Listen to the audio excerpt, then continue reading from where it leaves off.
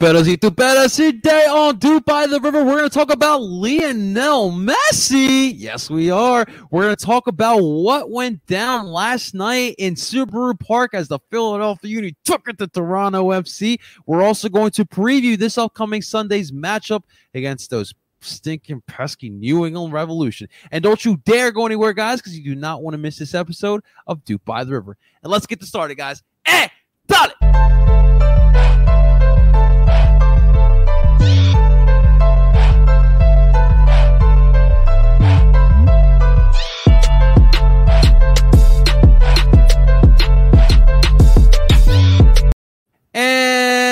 that is right. Welcome everyone to DOOP by the River, the show where we follow everything Philadelphia Union, brought to you by Philly Sports Network. What is going on, everyone? Of course, let me introduce to you guys my panel of expert dupers.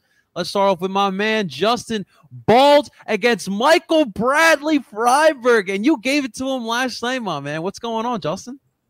I'm doing pretty well. Uh, my voice definitely has come back a little bit this morning. It was uh, gone, and that's always fun trying to talk to your boss on the phone when you have no voice. Uh, but yeah, no, what's, I'm wrong uh, with you? I'm ex- I'm excited to uh, to talk about that uh, that that whooping uh, that we laid on uh, on TFC.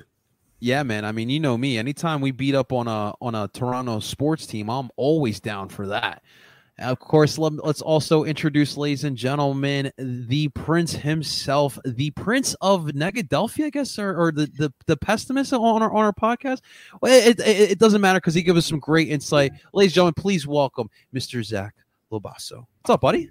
Nothing much. I'm actually okay. So real. So if if I was on the pod to preview the game uh, yesterday, I was gonna predict 2-0 for the Union. So I, I was I, I was confident going into that game. Um, so I'm not always pessimistic. I, I, I'm I'm I'm more realistic, I think. But you know what? We We'll can call because because Tim is so. I love the Union no matter what. They're my best friends. I I'll take that pessimistic uh, pessimistic title, I suppose.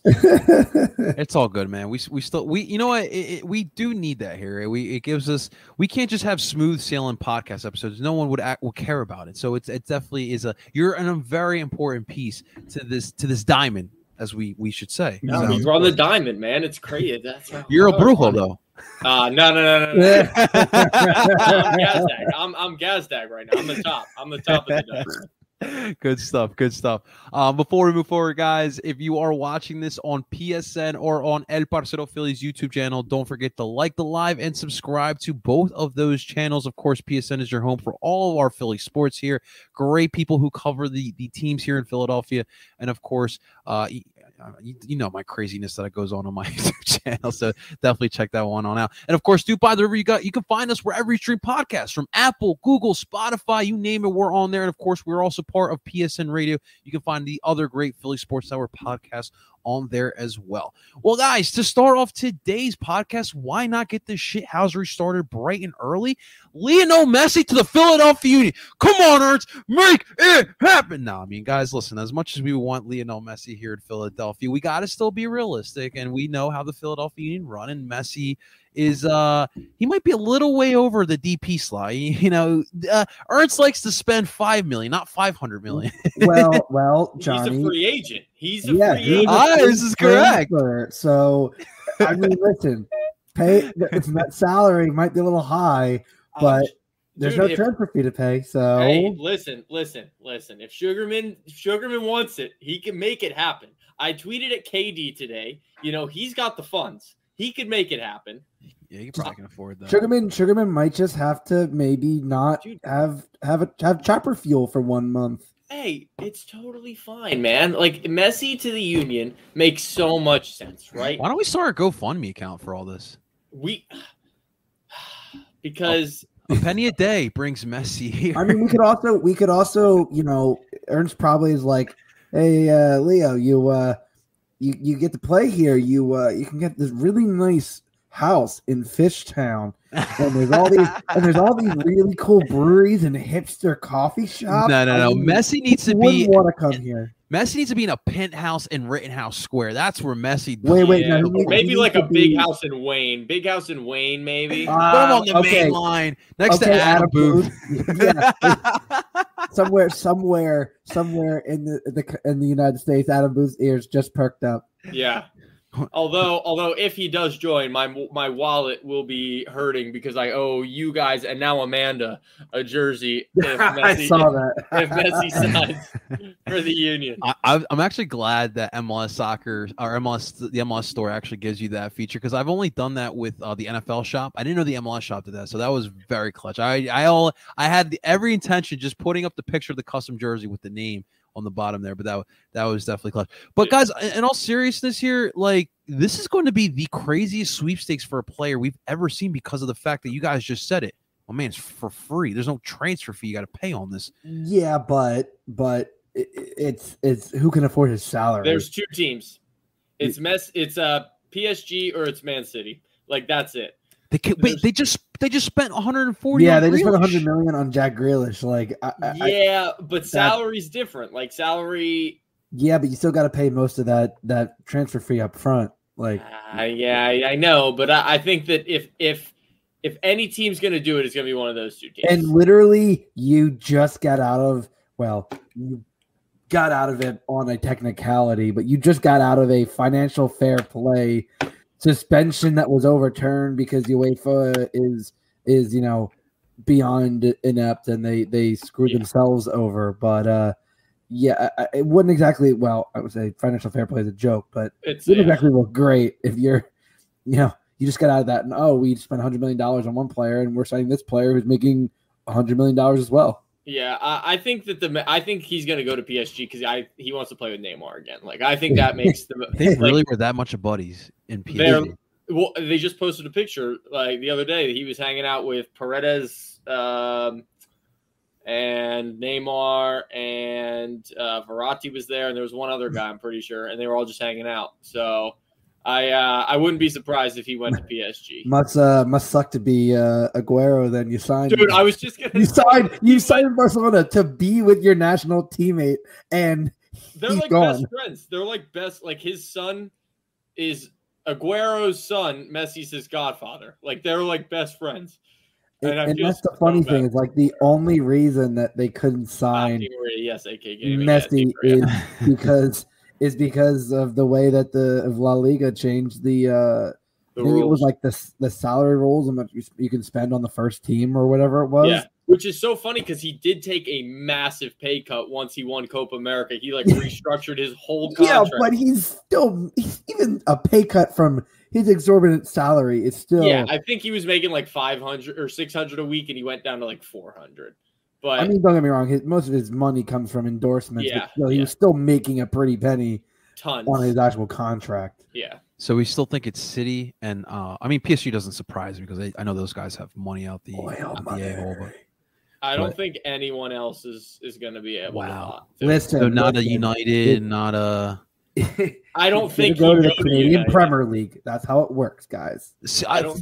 for soccer or football, whatever you want to call it, for for- for that purpose, I would, I think, just seeing him Serie A be be crazy. Like, imagine him on, on like Uh. an Inter or Milan, obviously money wise. Ju- Juve. Oh my Well, God. You well no. No. So so what my dream is my dream is he goes to City and then Ronaldo goes to Man U and they just one last year they just duke it out in the No, prem. Zach, no, no, no, Ronaldo to Man U. I Why loved not? him he, I love him Because when he doesn't there. want him there.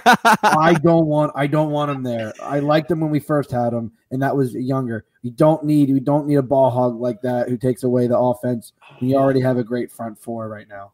Oh, I don't know, man. he's ready for Sancho season. That's what he's ready for. Yeah, come on, come on, Dude, just Sancho. play Ronaldo up top, number nine. Like he's, I still like him You and Cavani. Cavani. Yeah, all right. I still take Ronaldo over Cavani any day. Any day. You ask me who I want at number nine, and you give me Ronaldo or Cavani, I'm taking Ronaldo. Like That's some, easy. that's some mad, some mad Cavani disrespect, my Easy. man. Oh, I love Cavani. No disrespect. Cavani's probably like the third best striker of his generation, maybe fourth.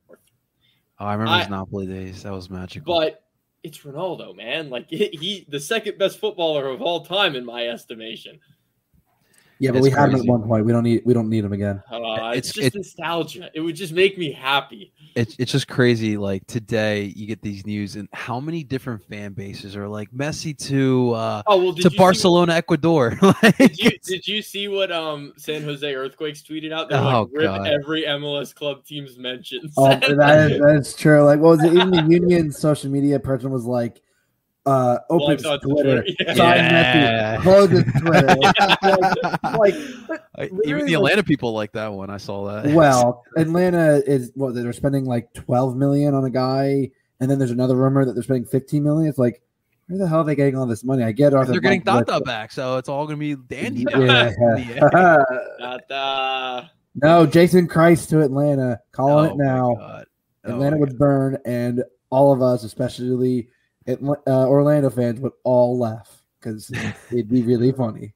Yeah, it, it would be hilarious. Uh, listen, guys, we had to start off with this. Obviously, listen, we are an MLS podcast, but you know the S stands for soccer, and obviously Messi's one of the biggest figures in soccer worldwide. So why not start with a little fun and, and talk about Lionel Messi? It is going to be intriguing. I think uh, sports fan in general. It's not just going to be soccer fans, but sports fans in general are going to be keeping an eye on on this because it's one of the most you know Zach kind of said it, one of the most polarizing players um, of our generation, and now he's looking for a new team to play for. So we'll definitely keep an eye on that. Um, but speaking of bombs, uh, we got a Bogue bomb, and, I, and of course, uh, you guys, I tweeted it today. Bogue bombs are way better than Woj bombs. I I, I Hey, stay the, clear the, that. the, the mustachioed Schefter, the mustache, Yes. whatever you want to, what do you want to, whatever you want to call him, Tommy Bogues, the the mustached hero that we all need, comes You with whenever he tweets something, you know it's. What do you think? it's He's got got like two or three legs. iPhones? Is he that serious about it? Is he that crazy about it? Oh, I'm, We're I'm talking like sh- I'm- Schefter here. I'm sure he's he's pretty probably give uh, uh, Fabrizio Romano a, a run for his money. I would love to meet him. We uh, let's make this happen. I want to meet That's, Tommy. that's a bold statement there, Justin. that's a hey, bold statement. I Hey, also also a I- pretty complex league here. I'd love to I'd love to have Tommy Bogues on the uh, on on the pod. Oh, be we'll a- have to make that happen. That's that'd be cool. that'd be legendary. But- Fabrizio's a different animal, man. Yeah, he's he's, a crazy. different animal. So according to this Bogue Bomb today, the so we've all been kind of waiting for this Matheus Davó um official signing to, to kind of Literally, I said it to you yesterday. Yeah, we were in a stance together. It was like, when is this going to happen? Because obviously, deadline is tomorrow, correct? Or t- Yep. yeah, it's tomorrow, Yep. and we still haven't heard it. We had the Bueno. We Bueno's here, he or he's not here, but he's signed. Um, we still dealing with visa issues, and but Davo, we haven't heard the official sign naming of it. We haven't. We don't even know if he's going. He's, I'm sure he has to go through his own visa issues, but for right now, you know, we're still in limbo. Um, so we'll, we'll wait and see uh, what's what's going to happen with that. But you know, Bogues was kind of stating that it'll probably then they'll be making official um probably tomorrow. What do you guys think the holdup is here? Is it the Yeah. visa? I mean, I I can't imagine what it. Maybe it's like who's paying like what portion of the salary because I Mm, know they the loan fee was deal. agreed upon. The loans through the end of the year. I'm sure it's probably just okay. Who's covering his salary? Because then they got you got to talk with uh, Corinthians, obviously, who is his you know his parent club. Um, so that's I, I think that has to be it. Like I can't imagine anything else because you know any kind of visas like uh, with, bueno like the visas are just that's not contingent on the um the the signing going through. I think it what is it the ITC is basically once that's official that's when the deal is actually official. So I'm sure it's probably just some some lingering paperwork that's probably has to be pushed through. But at, least like I said Tommy Bogues uh, tweet, tweeting that like definitely alleviated some of the anxiety that I I definitely broadcasted to to, to you Johnny and Tim. It was just like it, like we heard this rumor and Bueno was made official. Like what's taking so long? And that was that was a that was a big concern. But it, hey, at least we know like because tomorrow is the deadline. So that was like, Yeah, well, is it official? Like we do only have one more day at the time we were saying it. Exactly, exactly. Uh, So we'll we'll wait and see. We'll see what happens with with all that, but it should definitely be interesting. But uh, um, so last night we had a match, ladies and gentlemen. We your Philadelphia were in action facing off against Toronto FC in a match that I don't want to say it was must win because it's obviously a little too early for all that, but kind of a match kind of you just needed to just feel good about yourself, right? Like we've been in bad form over the last seven matches. We've kind of talked about it before in the previous podcast. Um, and we just we just needed to see a match that the Union just looked like the Philadelphia Union because of course we have um uh Club America next week, and that's the match of all matches. Um, so last night, uh, the Union it, it, right off the bat, I'll tell you guys, it just felt like the Philadelphia. They were tenacious. They were after. The energy was clearly there to start off the match. They had a couple good opportunities. Um, it started early in the 12th minute off a corner kick. Jakob Glesnes using the his the back of his head, looking like Kacper Przybylko using any part of his body to get the goal in, and that Hey, put the Union up one and nothing. Doesn't matter early. how, just matters it goes in. Exactly, exactly. And then the Union went on a tear that would last for 24 minutes, where they scored three goals in this period. Um, about uh, I want to say 21 minutes after that goal, uh, we had ourselves a penalty in the uh, down in our, our we had a penalty cut kick opportunity there, and um, Daniel Gazdag, much a guy that we've criticized very much so. Got his first goal. It was a penalty kick goal, and the goalie picked the right side, but he still buried that bad boy. And Daniel Gazdag is on the books. He's got his first goal in MLS history. And we learned our lesson here on this podcast that we will never talk about a Gazdag goal prediction ever again because we need that to happen every single time. and then three minutes later to ice the, the to put the icing on the cake there, a beautiful pass. I believe it was from El Brujo um, Mhm. to Sergio Santos, a nice long ball. And Sergio used that that speed, man. He is freaking fast as lightning. My, I'll tell you guys, he beat outbeat everyone on, on Toronto FC, and he just slid that right past Bono of of TFC, and that would kind of be the ice in the cake. Second half, you know, it was, you know, it was kind of a lot. I mean, it, it was a lot of uh, I want to say wasting time, but you know, they weren't as you know, they they were at more of like a 60, 70, not not like a 90, 100 percent right there as far as energy goes. And we saw the homegrowns. We saw some homegrowns, which we'll, we'll, we'll get to in a second. I want to ask you guys about that. But the Union get a big three nothing win there. Um, real quick, guys, I just want to. We have uh, a clip from Ryan Anderson. If you guys don't know Ryan Anderson, he is a, a, a T. He's a Toronto sports YouTuber, but he dabbles into some SEC football. He dabbles in the CONCACAF league. So um, he's a big TFC guy and uh, he was kind enough to kind of give us a clip, uh, giving giving us his thoughts about last night. So, without further ado, we're going to show you that. So, ladies and gentlemen, Ryan Anderson. Ryan Anderson Parcero asked me to be on the podcast to do a short review of Toronto FC versus Philadelphia Union from my perspective. Toronto didn't play well when they played in the 3 5 2, didn't really set them up for success. The Union were all over them, strong in the first half. The second half was a little bit better for TFC, but that first half was the stuff of nightmares. Good players for TFC for me Achara, Soteldo, Peruzza, they looked great. The defense did not care. They went through the motions. Jozy didn't play well. He went through the motions. For me, tactically, Toronto was outclassed by Philadelphia. Sergio Santos was buzzing around like a fly. He deserved to score the goal that he scored. The team didn't play well in the first half, and that's what lost us the game. So, congratulations to Philly. They're a lot stronger of a team than I've been thinking, and a lot stronger of a team than I've been saying. They are not a one year wonder, they're still a dominant team. So, they showed that last night, and I think they'll be going on to a great run of form as the season continues.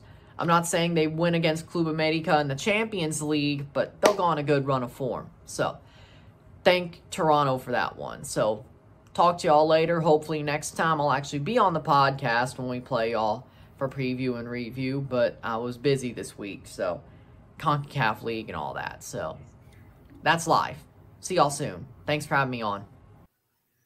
Ladies and gentlemen, Ryan Anderson. Good, good speaking to him, guys. Um, I'll put the put his uh the link to his YouTube channel in my in um descriptions there, but definitely check him out. Great TFC guy. Um, but well put, well put. Uh, we uh, we definitely just showed up, and I, I definitely do believe that. Um, I, I want to start off with uh Zach here. Zach, now we didn't get you in the preview. You were uh you weren't there last night. I'm assuming you did watch it though, right? Mm-hmm, mm-hmm. what did let's let's hear the the, the realist as we we we determined today the realist perspective of last night i'm curious what you have to say Um, so they look- they did- they did look good. Um, but it doesn't like this against a team like Toronto. This performance should be expected. Like it doesn't it doesn't make me any more excited for the rest of the season because this is what it should be looking like every time they play a team that's in the bottom half like Toronto is or like Miami or like Chicago is. Like they shouldn't be struggling. Now they didn't struggle last night. Obviously, they they looked fantastic. It looked like the press was back to its full force. Um, the offense was more free flowing. Uh, and I don't know, Bedoya looked like he got a new pair of legs on him. I, I don't I don't know what was going on, but um, fountain of youth. Yeah, I, I, don't know, but it's it, it's it's weird because I I want them to just be consistent, and I hope that they take this game and um you know build off of it. Uh, something I want to mention was uh, I know Sergio had a great goal, but the one play where he got played over the top and he like had to flick it over his head. Oh my god! And kept going was out like Jesus. outrageous, dude. I don't know what this like, and and he got injured. Am I like he got? Uh, it looked like he he was when he was walking around, he was limping a little bit. Yeah. Um, hopefully nothing serious, but Sergio just I, and like I don't know if I prefer him starting or off the bench. Still, I, it's it's so tough for me because the pace that he brings off the bench. I think if the press is working the way it should work, Sergio's better off the bench because those center backs are going to get tired and the outside backs too from the press. That Sergio coming off the bench is going to be a menace running. And it's not like you don't have Corey defenders. Burke who can run too. Exactly, man. exactly. Corey's got decent pace as well. Um, I think Gazdag taking that penalty is huge because we really haven't had a designated penalty kick taker for a long time. Remember and that man shot last year against Portland. Oh God, don't remind me. And that man buried that. Like he hit that yeah. with conviction. Like you, he wanted to score. Like you could tell. Um, and I think having because even when Jamiro was our guy, like he made one, but then he missed one, and then he made a couple, and then he missed one. Like I feel like Gazdag could be that guy that's just going to score a bunch um, without obviously he's going to miss at some point. Everyone misses at some point. Um, but I, I, think having a guy who's confident and wants to take those penalties, and, and we feel confident in taking those penalties, uh, is is going to be important for this team. Um, and then you know, I guess taking Glesnes out wasn't the answer, even though I still think Finley should get some minutes um, defensively anyway. But I, it was a good performance, and I, I just hope that I I really hope that Jim doesn't play everyone on Sunday. Like I know it's New England, but I couldn't care less. Like I want Paxten, I want McGlynn, I want Selva. I want them starting. Like I want them to start or at least play half. Like you can start your starters for 45 minutes, get them some running out. You don't want them to get too, you know, lackadaisical and too tight. But I want to see the young guys playing a lot of that game because you have Champions League on Thursday, which is infinitely more important than that game. The most important match in Union history. Yeah. I, I, I 100% agree with you. We'll, we'll, definitely get to that a little later. But um, to to a little bit of, of Zach's point there, Justin, what I want to ask you is about Daniel Gazdag. Now, it was good. First first goal penalty kick was great, but I'm just kind of having a tough time like understanding what is Gazdag. He's been here a little over a month now. What are what did we get in Gazdag so far? What have you seen? Uh, we're getting a player that absolutely demands the ball. Someone who has no short of creativity. Right. Uh, someone who listen, uh, listen. Is he does he take as many shots as we we're expecting no, but I think he's brought a lot to the offense that we haven't seen in the past. We haven't seen a very direct number 10, someone who just, you know, Brendan Brendan was great at, you know, he picked his head up and he would just run. But it, it was always those like, you know, the, those, you know, lung busting runs up the side and it was kind of like you know you knew what you could you would get with him. You got a lot of pace and a lot of energy. With Gazdag you get very deliberate. You get very simple. You, he he doesn't do anything like he can do some some you know some good trickery as we saw with him uh megging Michael Bradley but but like it, he keeps it simple eh, but he also adds uh, uh, you know he he brings the the midfield together in a way that I haven't seen from a, a number 10 in a while for this team. And I, I think, listen, I think the goals are going to come. I mean, obviously, this was the start. Right. Um, I, I'm not. I, I I like what he brings, and I like what I like the calming presence he brings. And you can see. Listen, yeah, he's only been here a few months, but remember, he he was in. He went to the Euros, then he got, you know, a slight injury, and then he like they've been like trying to wean him in, and he really didn't get his first. You know, I think first start. I believe it was until was it late June, early July. Like so, like I I think and also midseason signings, like people forget, midseason signings don't aren't all Nico Lodeiros. don't make like instant instant impacts. Like it takes a little bit of time. okay. So I, I'm I'm not I don't think anyone's writing him off, but I'm I'm definitely giving him a little bit leeway. But I like I like what I've seen so far. So what you're saying is we got more of a Borek Dockal than a Marco Fabian. Yeah, I, I think someone that it, I mean, I I think he I mean he still does shoot, but I think I like someone that can you know can feed between the lines. I mean he he provided a few good through balls, Right. and yeah, he he also isn't afraid. Like we talked about, you know, Zach talked about the moment where where Sergio basically did a rainbow and and you know around the defender. Well, there was one moment Sergio literally danced like at the top of the box through like everybody. He's holding on to the ball That somehow was nice. and the ball pops out, and Gazdag sees it and sprints right onto it and gets a pretty good shot off. And it would have been a goal for Sergio if he had wasn't just a little ahead of the ball and it slips behind him. But like he's not afraid to shoot it. He just I think he's more deliberate with the shot opportunities and you know, we talked about Marco Fabian. Marco Fabian just would hit it from anywhere. It wasn't always great. Like like I love someone who wants to He shoot. wanted but to also- shoot.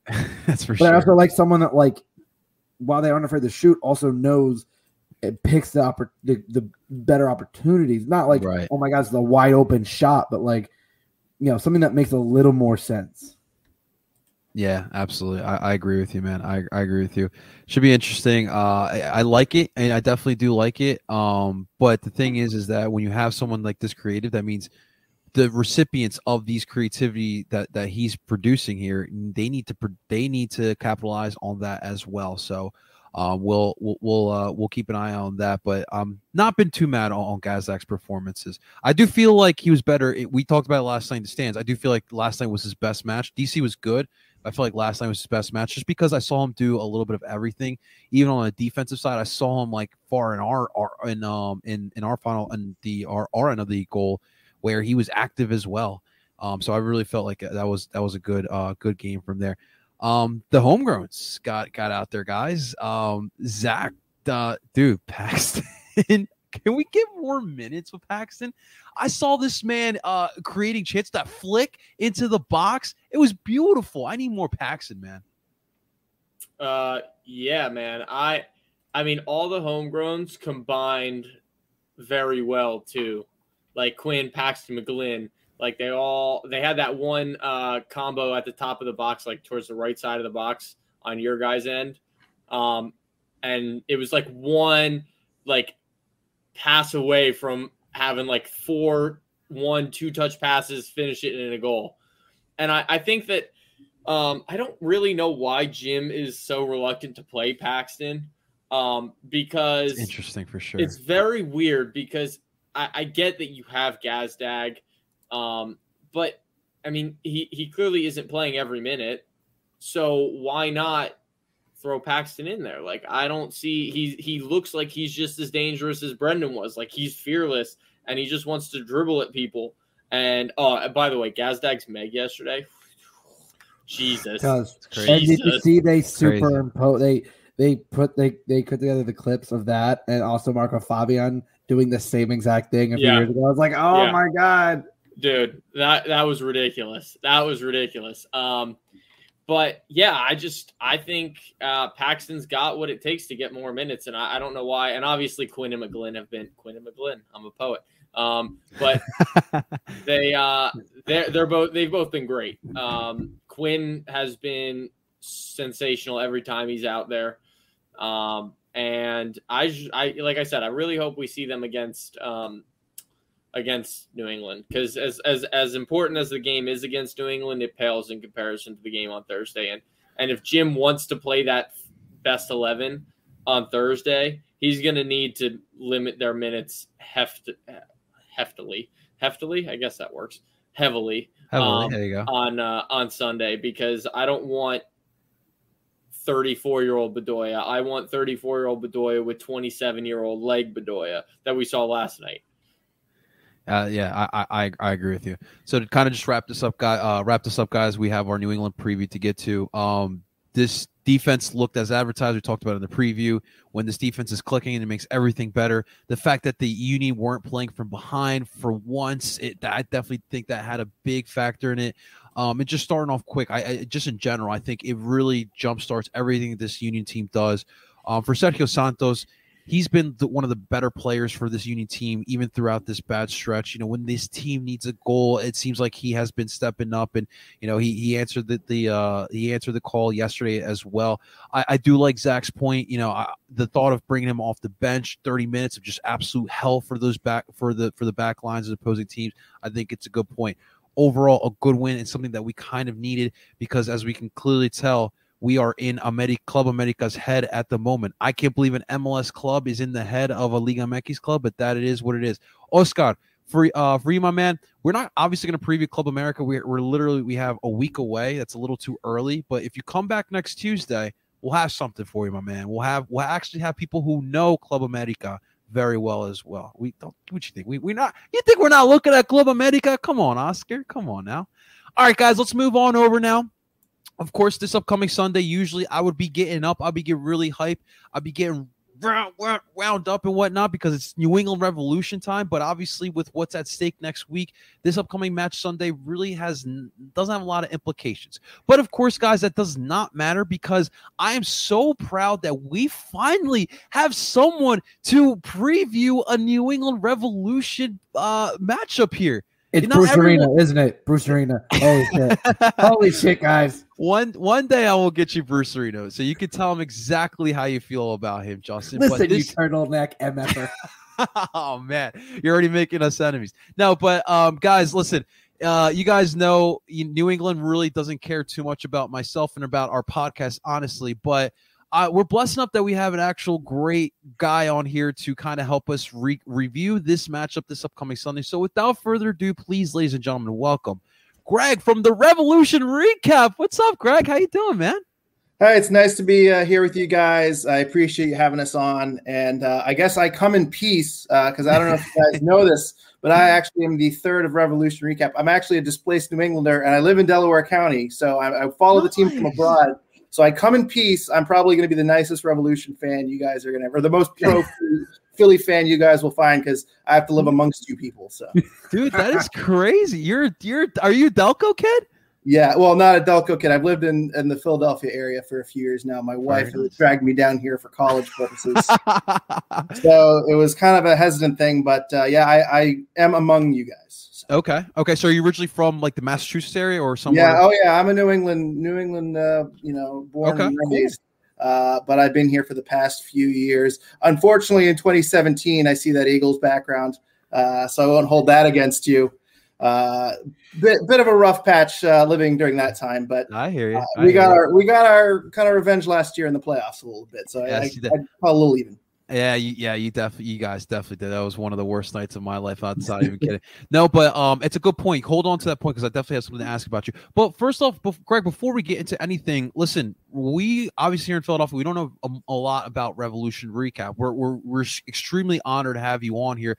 But who the hell is Revolution Recap? Tell us a little bit about what you guys are all about there. Yeah, so Revolution Recap started actually in the mid 2000s. Uh, my podcast partner, Sean Donahue. Yeah, yeah, mid 2000s, MLS 1.0. Oh Uh, my lord. crap, The stories. The pretty cool. stories. Sean, Sean did, my friend Sean Donahue did a radio show in Rhode Island uh, and kind of gave coverage of the team at that time. It was pretty small, it's a local radio station. Uh, Eventually, Sean created a website called New England Soccer Today, which I joined. Uh, I met him in college. Uh, and so we kind of did, you know, beat writer stuff uh, throughout the mid 2010s. Uh, and then kind of life got in the way. We couldn't keep up with the beat reporter type stuff. Uh, so we transitioned to kind of a once a week podcast, which is Revolution Recap. So we kind of brought back that name, and so it's kind of we we brought it back to life, uh, and we're in year four of kind of the rebooted version. We brought on uh, Chris Valukas, who's been a great third host, who I, I think you guys know. Uh, and so uh, we, we've been doing that for a few years. We still do our player interviews. We still have some, uh, you know, pretty interesting chats we have on some current and former players from time to time. But um, and, and, we do have the honor of speaking to Bruce Arena and asking him questions and having him completely stonewall us and not give us any so, sort of clarity whatsoever. And it's very frustrating. so we, yeah, so that that's kind of our story of how we, we got to be where we are right now. Well, it's good to hear that you've been struggling with it as well. So, there you go, Justin. So not a lot there to, to go off, but that that is also, and, and I'm I'm honored we have actual history. I, I I honestly did not know that about you guys. We have some MLS 1.0 history, man. There's a lot of intriguing things about MLS 1.0. So I will say one of my favorite Revs player was Shalrie Joseph. Have you guys ever been able to interview him? Yes, we we interviewed Shalrie Joseph last year. Wow. Um, yeah, yeah. And if you go to our feed on iTunes, if you go to uh, all episodes, um, we've we've rigged it so the interviews are up at the top. So Shalrie Joseph is on there, and Sean actually knew Shalrie Joseph from um, back in his time with MLS 1.0. Sean obviously knows some of these guys. Uh, and so, actually, after Shalrie Joseph left uh, the Grenada head coaching job, I don't know if you guys know that he was coaching Grenada uh, prior to this year's Gold Cup. Uh, we had him on. We talked about that, and at the time, he didn't have. Uh, he, he, was kind of wondering what to do next. And since then, he's been hired as an academy coach with the Revolution. So oh, we did have cool. on. We've had on Jay Heaps. Uh, we had on Brian Dunseth. Uh, we had a few uh, interesting Revolution players to kind of come on and give their story. So it's always fun interviewing former players and give them their um, you know tidbits because they're they're more willing to kind of talk with kind of you know their career and perspective and all that. So it's really fun to to get someone. Uh, Jeff Larentowicz, we have Philly guy Jeff Larentowicz. There you uh, go. On our podcast. You, you, know, so we, we've had some really good guests who have told some really interesting stories of the years. That's awesome. Did you ever expect Taylor Twellman would become this like this like I guess soccer figure now? I mean, this man is making rants on Sports Center. Did you ever think he would get to this popularity? No, I mean, I didn't. I, that's probably a better question for Sean because he was a more, much more diehard fan than I was. Okay. I caught on right after the glory years. Um, ah. I, I, don't think so though. And, and another interesting story that I don't know if you guys know this, but I was told that for a while Taylor Twellman was being vetted to be the Bachelor on ABC. Did you guys no, no, but I can see it. I can see it. No, but God, that would have been a long time ago. This is a long time ago. That's and really funny. I said no because he wasn't interested in being in the spotlight or, or something. Uh, well, it's too late. Yeah, now. now look at him now. But no, I mean, his obviously his career unfortunately ended. Um, I know sooner than it should have, and um, but it's great to see him find something post career playing career um, that he's happy with. So I know he's not everyone's favorite commentator, but it, it's exciting to see him at least be a, a, you know growing voice for soccer. He's he was actually here, right? Lalas. He's better than Alexi Lalas. So that's something. yeah, but that, that would have been that would have been great a tidbit to know when we uh, we had him on the the Union Happy Hour in like November. That would have been a great tidbit to ask him. You guys got to get him back on. That's uh, so funny apparently he's a big fan of the show too. So I'm sure you can just get him on with that. You can just talk with Bachelor with him in general. I'm sure. so funny. The, the, one he missed out on that that's, that's pretty funny. Um, so uh, another question I really wanted to ask you. Look, so one of the things that we kind of struggle with, and specifically me, like I don't just do uni coverage, I do all five Philly sports coverage here um, is, is kind of like integrating the union with the sports landscape that's here. You live here, you know how crazy you know sports fans are. I mean, you see behind me, mm-hmm. and we kind of been struggling with that. Now, in your case, listen, Boston, especially over the last two decades, it's like championship city.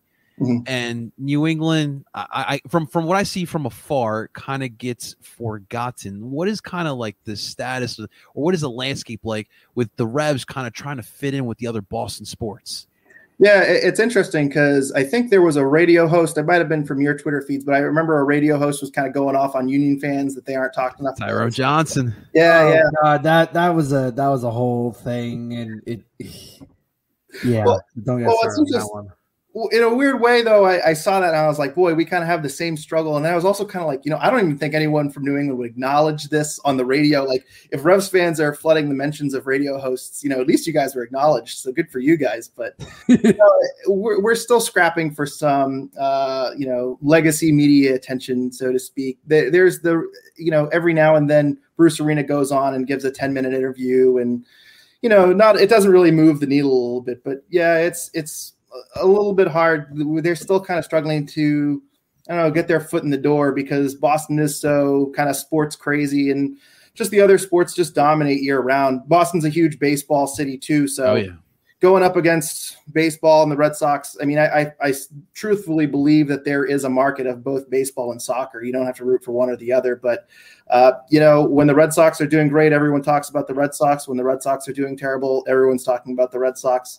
Um, it's the same with the Patriots, and so it's it's kind of just an unfortunate. We're still trying to get our our foot kind of. We're still Right. trying to be noticed, um, and it's really frustrating to be in first place and still not get that credit. Um, Us last year. I mean, listen. I mean, you know, your owner probably forgot he owned a soccer team. That's to be another issue, honest, too. up to a few years ago. So he's like, "Oh yeah, wait, I I own two teams. That's right."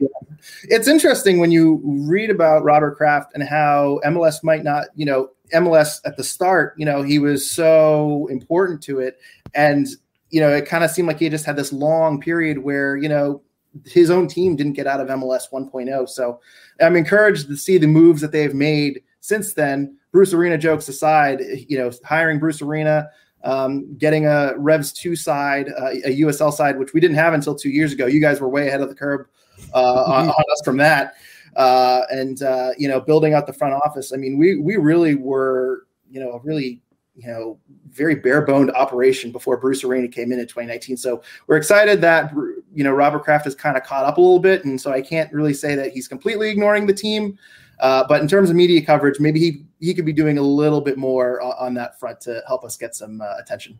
I, I agree with you there, and it's crazy because yeah, you, you're right about the Red Sox, and, and I know like cities like Boston, obviously the Yankees as well. Like it's, it's crazy baseball cities, but the thing is, is like in the winter, and, and same thing here in Philadelphia. Like the people do have the attention span to follow the Sixers, follow the Flyers. In your in your case, follow the Celtics, follow the Bruins. Mhm. So I think it, it's it's very feasible that people can follow the baseball and the MLS. Like it, it- I don't I don't think that that's out of the order, and I think that's a great a great reason why I love the MLS schedule because when you look at it from the American sports landscape, it, it's it's in the right spot. Like it's in the summer, you know, and soccer to me, like you know, it's cool watching you know the the snow game when like you know USA Costa Rica and, and Colorado, like that's cool. But you know, I, I, I think soccer should be played in warm weather, but.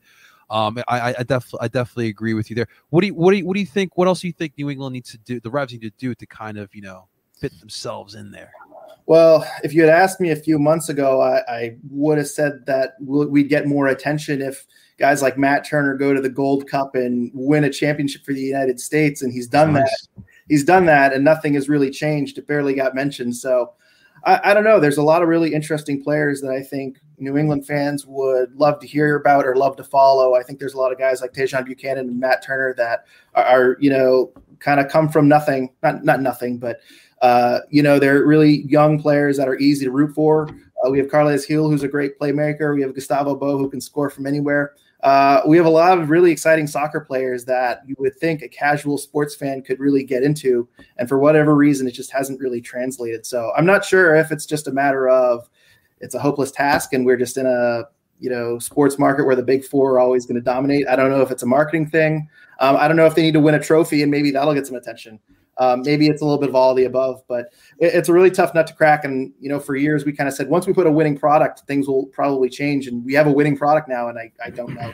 Maybe you guys can tell me because you guys are a year ahead of us on this. I mean, it- W- it- it- honestly, you're talking. It sounds just like our situation. So I, I guess we don't have really much else to to kind of The- help you. some people are holding out for a, a big name signing or a soccer specific stadium.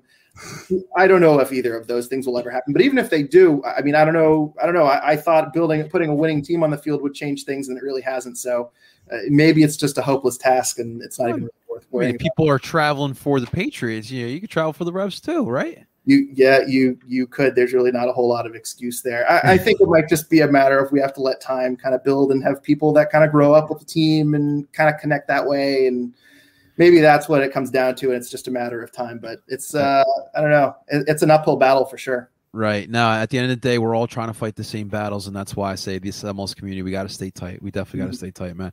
Um, you mentioned it. We we kind of talked about before the podcast. Um, the Buchanan rumors, Club Bruges. You got anything on, on that for us? yeah so apparently it came out today that he's been I don't think it's been finalized. Uh, there's another team in Germany that is apparently still in talks with uh, Buchanan, uh, but apparently he is going to be sold for seven million. It's going to be a Brendan Aaronson type deal where he is sold and then loaned back to the New England Revolution. Uh, so he will finish the season with the Revolution, and then allegedly he, he's going to Club Bruges, but apparently it's between them and I think FC Augsburg uh, over in Germany. Okay. Apparently, those Beautiful two teams are those two teams are apparently fighting for his signature. That that was the most recent report.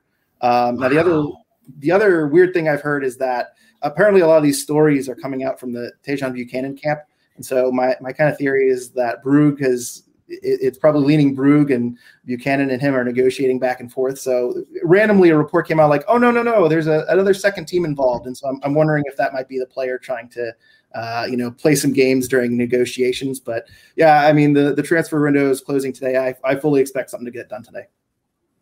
Okay. Okay. So we we also were discussing what would his position do you believe would be over in Europe? Would he like because he's obviously like a, like a he's kind of feels like a natural winger.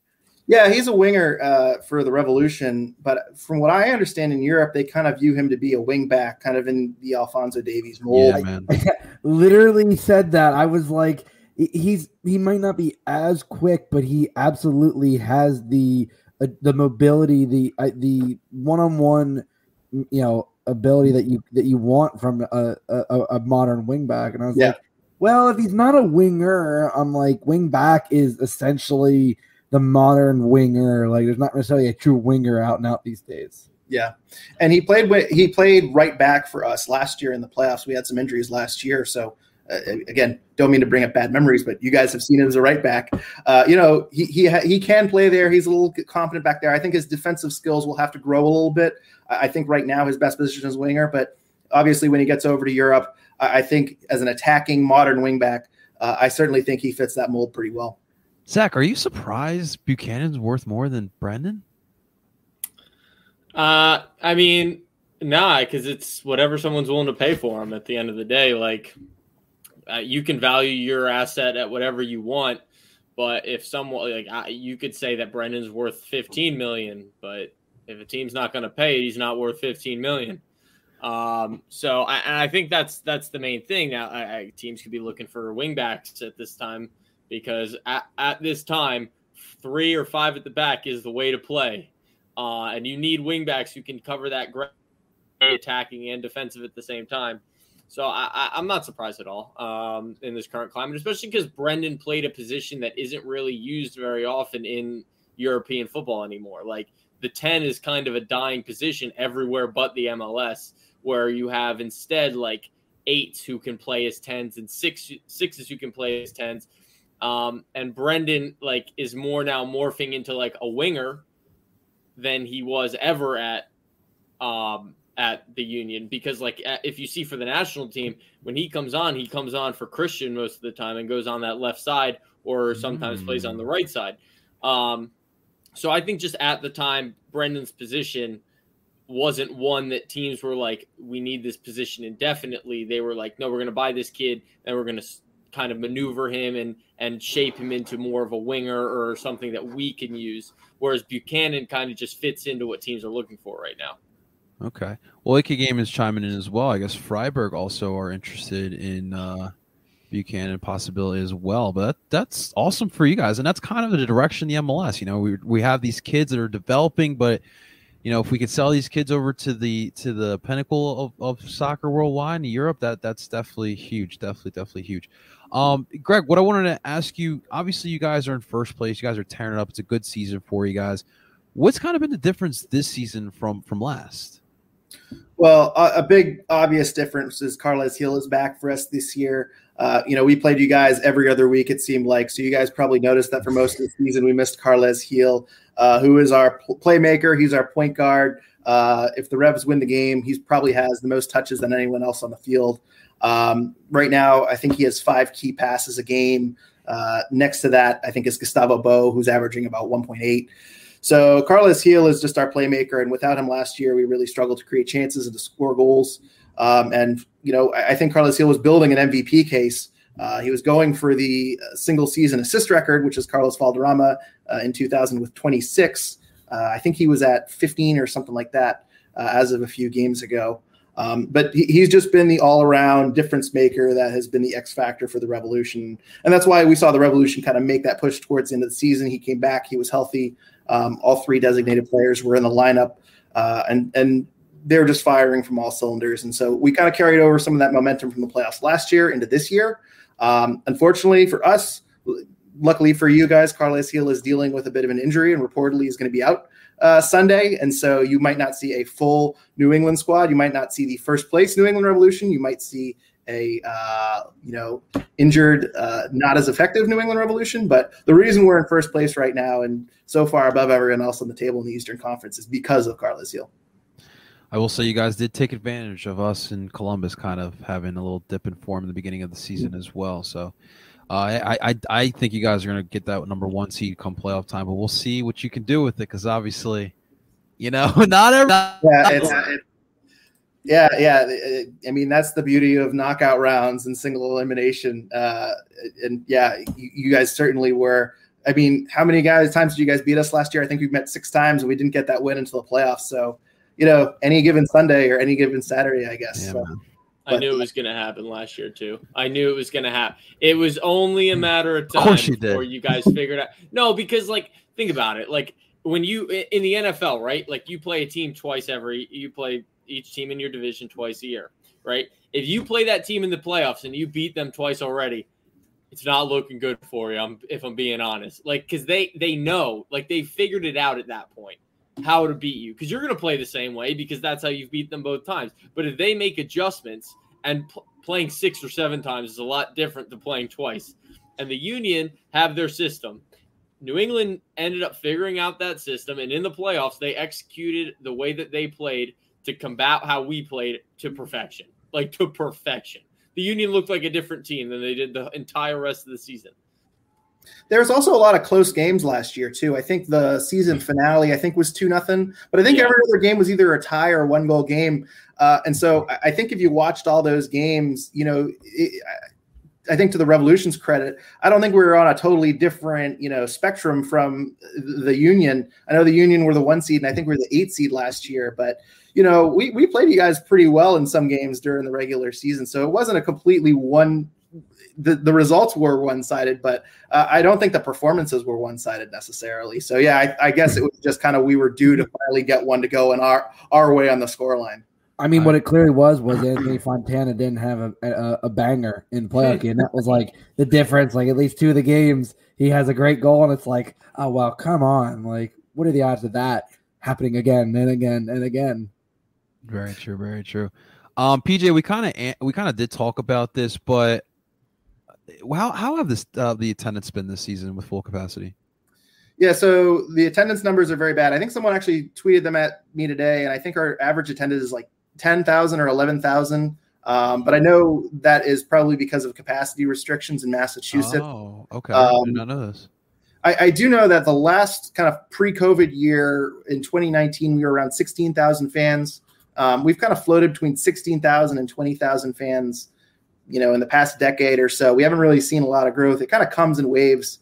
Um, but what, what does New England need to do to get more fans in the stands? I think winning would be good. I think winning an MLS Cup would be good, um, or at least a supporter shield, uh, something. Uh, our, our last trophy was, I think, the Superliga, uh, which we won on the state in uh, 2008. So it's been 13 years since we've kind of nice. won significantly. Um, so I, I, think if they kind of get some momentum and put a winning product on the field, I, I think that will help.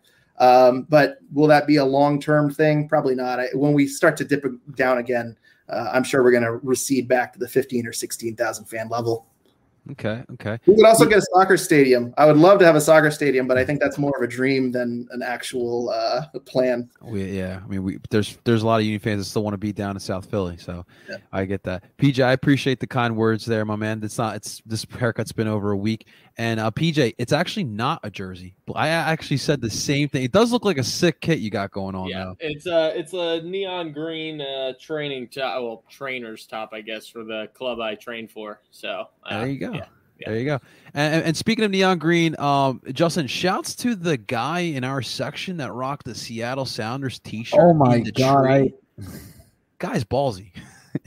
yeah, I I think I said it earlier in the like he showed up and like walked away, and I was like, I'm like, I, did I just see a guy in a Sounders shirt? And then like 15 minutes later, someone's like, "Hey yo, why the f are you wearing?" And I looked, and I'm like, "Oh, he actually in our section. Oh boy." It was, you know what? It's weird, but it's like we finally made it. Like you only see that at like NBA or NFL games, right? Like you know, someone's got the random guy's got like a Pat Mahomes jersey at an Eagles game. Hey, guy's got a Seattle Sounders t-shirt in the tree. It's like we made it. Finally, finally, finally. Um, all right. So listen, Greg. As much as I want to tell you that Sunday is going to be a bunch of fireworks, be typical Philly, New England. I hope it's not simply because we kind of already talked about it. You know, this upcoming week is really kind of big for us. It's probably the biggest week of our franchise's history. Um, so uh, I think the majority of us here on this podcast and, and the fan base, we don't even want to see our starters out there. We want to see a bunch of kids. Um, put uh, Alice, cool. Alice yeah, cool. Stuart Findlay. Uh, you know, put Matt Freese in there. You know, I, I think that's kind of where we're all at. But like, what is the mentality with when you are you guys like, you know, we're just we we don't care. We're gonna get these three points, or like, are you guys like kind of resting some guys as well? Oh no, we we Bruce Arena will take three points every chance he can get three points. He always plays his best available lineup. Now I alluded to Carlos Gil potentially being out. As I say, he's dealing with a sports hernia, so we don't expect him to play. That's been reported. Bruce Arena didn't confirm it, but he's been very shady about his status. So if you guys don't see Carlos Gil in the lineup, it's going to be a closer matchup uh, than you think if you have your B team. Uh, we just played Nashville last night. Nashville played how they typically play, and they just kind of sat back and tried getting a point. But they played some B teamers too, and we couldn't break them down. Um, it's a little disappointing because you know with Nashville and Philadelphia on the schedule, uh, the first place Revs, I, I, think a lot of people would have liked to have seen you know where these teams kind of stand, right. uh, and it's going to kind of be with an asterisk because I think you guys and Nashville both kind of play B teams, and we don't have Carlos Gil, so we'll have to figure this all out in the playoffs. Um, but no, the, the Revolution are going to want three points, no doubt uh, especially coming off a frustrating draw with Nashville. So um, it'll be interesting to see how they line up. Uh, we've been playing in a diamond formation uh, recently um, with Buchanan at the Gold Cup. We kind of shifted to kind of more of a diamond. Um, Tajon came back. He kind of took over the Carlos Gil role, which is technically like the central attacking midfielder, but he also kind of roams from side to side. So um, it'll be interesting to see if we shuffle things around. But either way, you can expect us to go for three points, and you know we'll we'll be smelling blood if you guys field a uh, B team lineup. I don't doubt that, especially with Bruce Arena um, at the helm there. Um, guys, so what what do what should we expect from this lineup? Honestly, Justin, I'll let you start. You haven't gone in a while. Um, honestly, I feel like it's going to be anyone that's potentially nursing an injury. Uh, you're not going to want to play them on turf. I mean, let's be honest. There's a, there's a reason why you know every every superstar that's come into this league, whenever it comes to New England, they suddenly have an injury. Like, oh no, you know, uh, you know, can count it with like Zlatan. You know, it's like, oh well, you know, it, it's you know, he has a knee injury. Oh, he how they go travel to New England? You know, it's gonna be. Uh, so I definitely see a bit of rotation. Um, yeah, with with with uh with Club America on the horizon. I, I think you you got to rotate. I mean, I know I say that knowing Jim doesn't rotate, so I I say they're going to rotate, and I for I part of me believes it, but part of me also does not believe it because I said they were going to rotate against Chicago. I said they were going to rotate against TFC. They didn't either.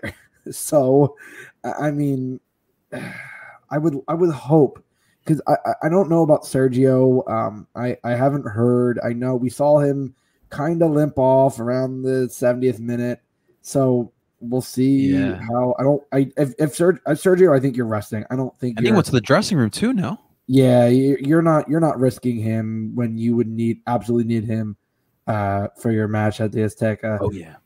I, I I would hope the kids start to show up. I mean, you know, you know, Paxten, Jack, and and and, and Quinn absolutely bust around TFC, and it, that just goes to show, like, it, it makes you think, well, why isn't Jim been playing the kids a little more? Like when you can rotate and you have three kids that clearly can play. Like as I said, Quinn has not had a bad, you know, I don't think he's had a bad moment on the field. Like every time I've seen him play, he's gone and done something. You just go like, Jesus, like this kid could actually be be something pretty special. I think he might be one of the next homegrowns to get sold for not a you know Brenden money, but he could get sold for a decent amount. And I hope that they rotate because Yeah.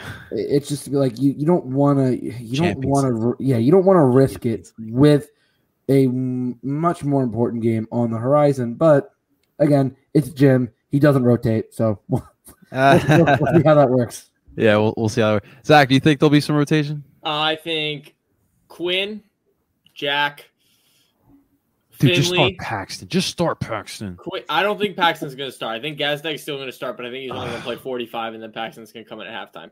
But I think Quinn, Jack, Finley, Freese, and one of Harriel and Powell will start at right back. I think that's going to be. I think. I think that half of the lineup will will be will be out. Um, I think you have to play Corey and uh Kacper because you don't have any other strikers. um, unless you play one up top and then you probably play Corey.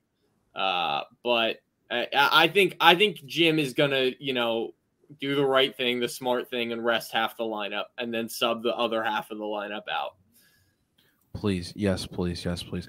All right, let's let's uh, do some um, some predictions and we'll get we'll get out of here. Uh, Greg, of course, you are our guest. What do you see happening this upcoming Sunday in Gillette Stadium?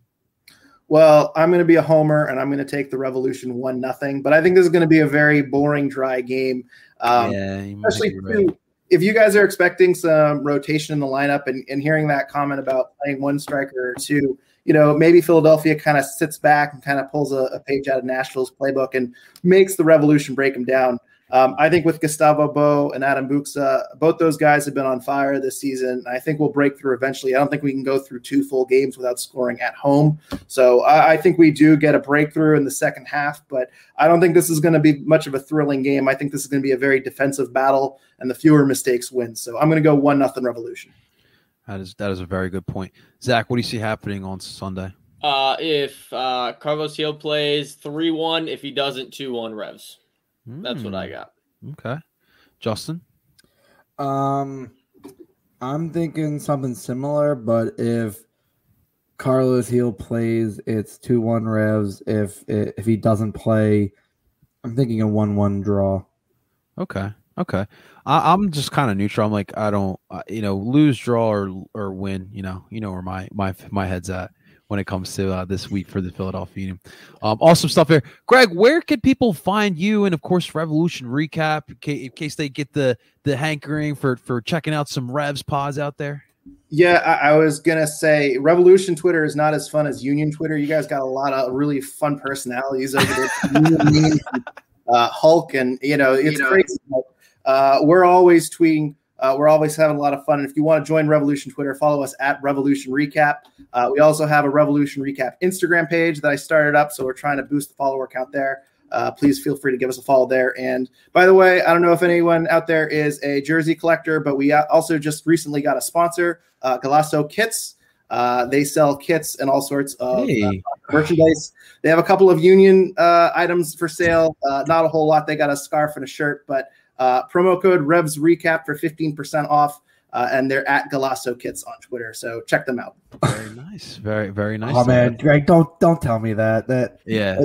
it, Johnny Johnny and Zach know my closet is This man's got an extra closet just for kits. literally most of my jerseys in my in my in my my closet are soccer kits.